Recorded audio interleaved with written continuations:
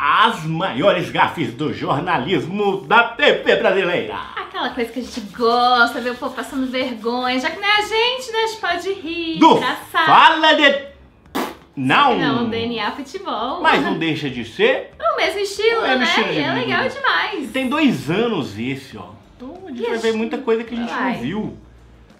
Será? Provavelmente. espero. Novidades? Essa daí ela tem treta com metade do mundo, né? Ah, é? Tô sabendo não. Quero fofoca Não é? na, minha, na minha mesa. Gafes ao vivo acontecem toda hora no jornalismo esportivo. E sempre quando a gente menos espera. Ué, Vira a página e Ontem, ontem chegou uma mensagem. não adianta Já disfarçar. Oh, deixa o seu Deus. like se inscreva para não perder Todo mundo nenhuma ouviu. novidade. O jornalista Cacau caiu. Mota questionou a linha do VAR e usou uma régua para analisar o lance. Ah, não, Os mano. terraplanistas que faz assim no mar, tá ligado? Olha lá, ó o Caco. aí? Que, Ó o que é isso Caco. daí, gente? Ó o Caco, nosso professor de Isso aí, geometria aí, vamos ó. ver, vamos Olha ver. aí, ó. Ah, não. Essa régua é boa, hein? Essa régua é Não, boa, olha é só, de acrílico. a linha tá errada. Se voltarem o lance, a linha tá errada. Eu fiz com a régua aqui na tela. A linha que eles traçaram tá numa diagonal em relação à área. Só ver isso. Tá errada. Tá no. não, essa Gabigol tá na vergonha. mesma linha da bola. Como é que foi isso É daí? só colocar isso. Olha o professor Caco aí. Mas com a régua. Ah, peraí, peraí. Anulou o gol do Gabi? É verdade. Ah, Eu tá lembro, a bom. linha tava tortaça. Tá, a Foi, linha da foi área está sim, né, reta. Ah, Como bom a flamenguista, eu só Gabigol posso dizer isso. torta.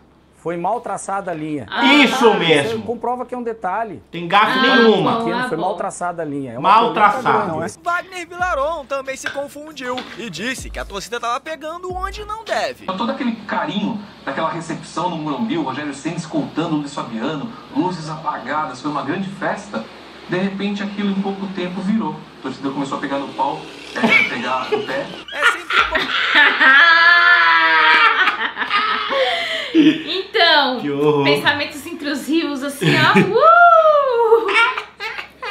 bom a gente pensar É igual pai. Não sei porquê, velho. Eu tenho um negócio, quando eu vou digitar pai, eu acabo escrevendo pau.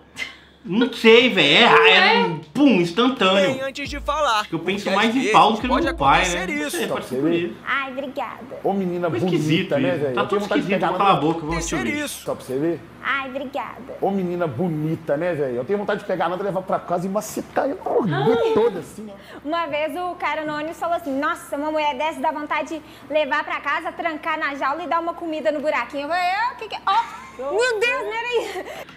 Meu Deus, vai ficando pior de todas as formas. Eu um não sei falou aí. uma atrocidade, a outra continuou. Eu não sei aí no seu estado, mas macetada em mulher aqui não tem outro significado. Não, é ah, único. nossa, vontade de dar uma macetada. Não, aqui Só Brasília tem um significado. só tem um significado. Então, assim, meio que já criou um desconforto. Comer o buraquinho? Dar uma comida no buraquinho?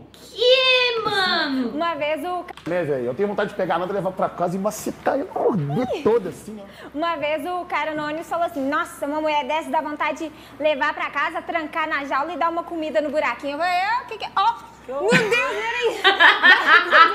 Pela grade. Tarde demais. Tarde demais. da jaula. Sérgio Maurício falou essa bizarrice aí antes de entrar no ar. Acabou vazando na transmissão. Os comentaristas tentaram segurar o riso o tempo todo. Macaco louco. O judô, que é um esporte sempre dito como um esporte dos homens, né? Essa é a Olimpíada das Mulheres. Olimpíada das Mulheres, segunda medalha de. Aqui no judô, a primeira de bronze Ah, e a medalha de ouro. Durante a cobertura Meu das Olimpíadas, a jornalista hein? Isabela Ayame também deixou escapar um palavrão ao vivo. Mas quem não ficou tudo bem foi Novak Djokovic. Foi treinar essa tarde com Andy Murray lá em Tóquio e ficou Será que aconteceu, Kaká? Ele ficou o quê, Isa? Muito bravo. Qual a melhor expressão Ah, acho de putaço, Não é velho? palavrão, é? Pelo menos assim, putz aqui em casa nossos filhos Mas podem não vem falar. de putz, né? É, não. Putaço é. Putzaço. Não, Outra gafe outra daquelas coisa. foi da Patrícia Poeta, que acabou dando uma bufada ao vivo. Peidou? Ah, Ah. Não, tranquilo. Olha, durante tranquilo. as últimas semanas. Isso aí é, É, relaxamento- é exercício é, pra relaxamento você. Tava ouvindo começar. nada, mas todo mundo acabou escutando o que ele disse no ar. Milton Leite, Luiz Ademar. Muito boa noite pros amigos. E eu sei que foram piores momentos e não melhores momentos. Boa noite, Milton. Eu não tô ouvindo um c... do que eles falam, hein? Ó, vazou ali, é porque ele tá... Sabe, televisão ao vivo escapa às vezes, né, Rafa? Mas uma gafe absurda aconteceu lá na Fox Ih, quase caiu. O programa já tinha começado e ninguém no estúdio percebeu.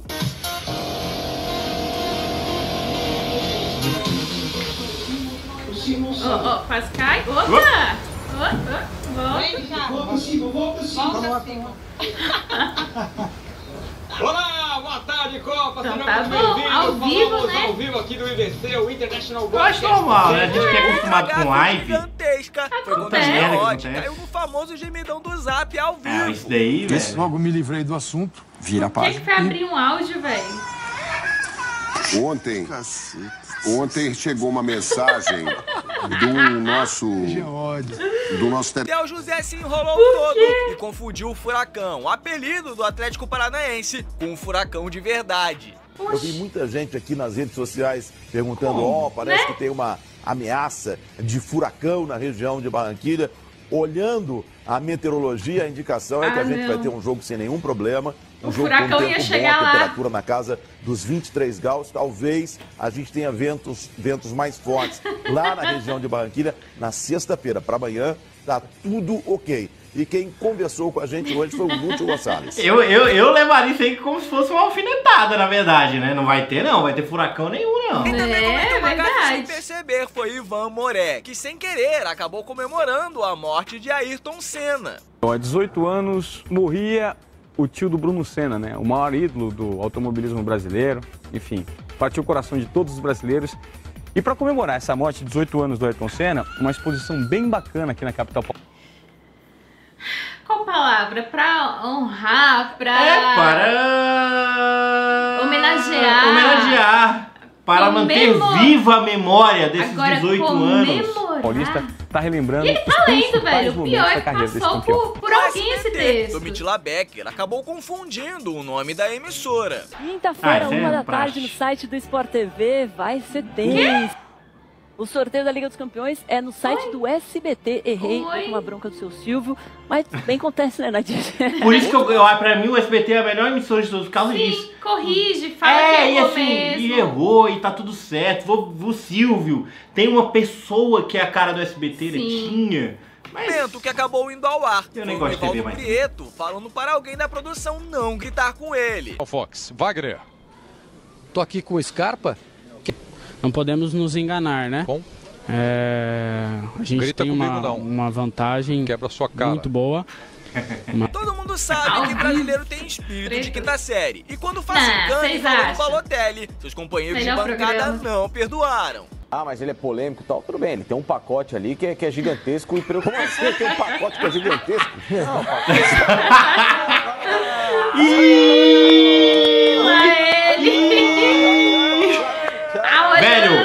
não sobrou um adulto na bancada. Não sobrou um adulto. Um já se jogou, o outro teve que levantar. O Um já tá outro tá batendo a pá, o outro tá batendo ali. Não sobra um adulto. Olha lá, ó. Não sobrou um, o outro tá com a mão na cabeça.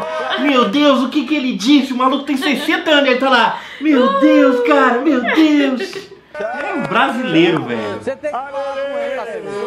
O Alele. Não, não. Olha, e como o pacote. Esses pacotes. E como agora ele falou que o pacote é gigantesco, então o Oscar vai de frente. Não, tira a mão, olha ali. Não, olha esse pra pacote frente. é tão, tão bom. Que coisinha, hein? Tá se soltando, né, Li? E o pacote dele? Pela, pela mídia, né? Pela, pela mídia, pela mídia. Os outros são muito amigos. Não, não. Quem também se confundiu foi esse comentarista do Sport TV, que chamou o Neto Berola de outro nome. Beisola? Tirou o segundo volante, o Renato. Marola. o Neto Boiola. No duelo, Goirola. Boiola? Depois ele tirou o segundo volante, o Renato, e colocou o Neto Boiola. no duelo entre Borussia Dortmund e Bayern de Munique, Kleber Machado errou o nome dos times. A final da Liga volta para o estádio de Wembley. 0 a 0 primeiro tempo de confronto alemão entre Borussia e Dortmund. Ele também Borussia e Dortmund. Portugal e Inglaterra decidindo nos pênaltis a vaga da semifinal. Partiu Lamparda. Partiu Lamparda. Lâmpada. Lamparda. Apagou. Apagou. Quem é que ouviu mais isso, velho? absurdas, preocupado com Machado errou coisa. o nome do goleiro Denis. Luta, O São Paulo se fecha. Conseguiu a tabela. Beni. Não! Quem também Eu acabou fiquei, não, ele não vai falar isso, ele de falou. cabeça foi Roger Flores. Foram 25 gols, Roger. Faça as contas aí para determinar essa média de gols altíssima aqui em Santa Catarina. 7 a 0 aqui para Chape. Um grande abraço. Um bom troca de passe. Com muitos clássicos hoje pelo Brasil nos estaduais. 3 gols, 3 gols por partida, né? 25 em 5, divide 25 por 5 dá 3. É isso? É isso? Às vezes não é só o jogador que fica Sabe nervoso muito. ao entrar em campo. O repórter também pode não saber o que perguntar. E o que você acha que a, Ahn, o que você acha que a equipe precisa é, fazer assim Tenham pro- paciência pra iniciante, pro, pra- não. pro time. Muito obrigado, muito obrigado.